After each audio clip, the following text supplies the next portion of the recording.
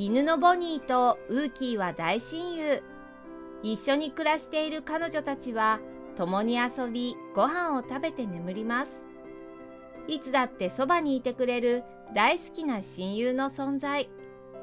それは時にとてつもないパワーを与えてくれます。自分だけではできないことだって親友の励ましと手助けがあれば乗り越えられてしまうものなのです。その日ビクトリアさんの家から激励の声が聞こえてきました。ボニーあなたならできるわ。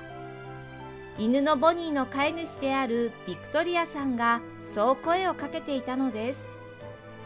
ビクトリアさんがいるのは家の中の階段下。そしてその階段の上には愛犬のボニーとウーキーが立っていました。ボニーはゆっくりと階段を降りようとします。けれどわずか一段進んだだけですぐにまた後ろへ下がってしまいました。ボニーは階段を恐れているのです。それには理由がありました。実はミニチュアシベリアンハスキーのボニーは目が全く見えないのです。中国の動物保護施設からイギリスへと渡り多くの苦労を経験してきたボニー。目が見えないというハンデに負けず強く生きる彼女に心惹かれてビクトリアさんが家族に迎えたのでした。そんなボニーも初めて階段を降りるのはやはり怖かったようです。けれど彼女にはこんな時頼りになる親友がいます。それが先住犬のウーキーでした。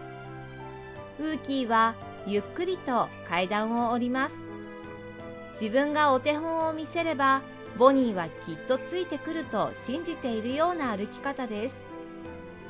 実際ウーキーの首には鈴がついていてボニーはいつもその音を頼りに行動しています。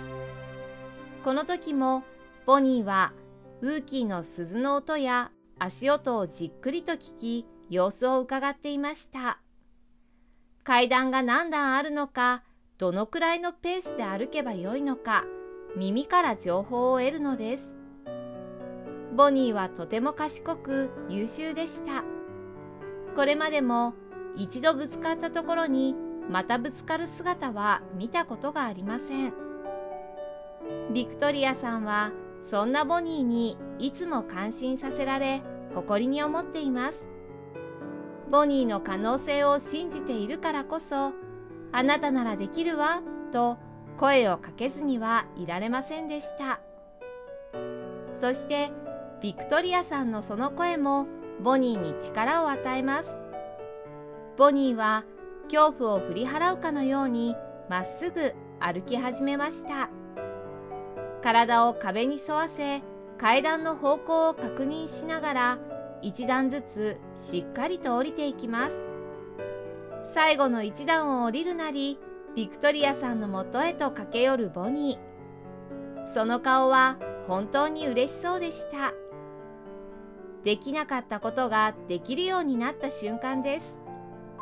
ボニーの表情にはその喜びがあふれ出ています。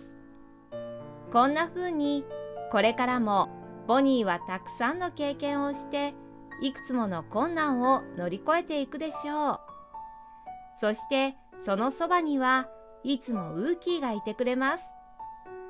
ビクトリアさんと共にボニーを励まし続けてくれるに違いありません。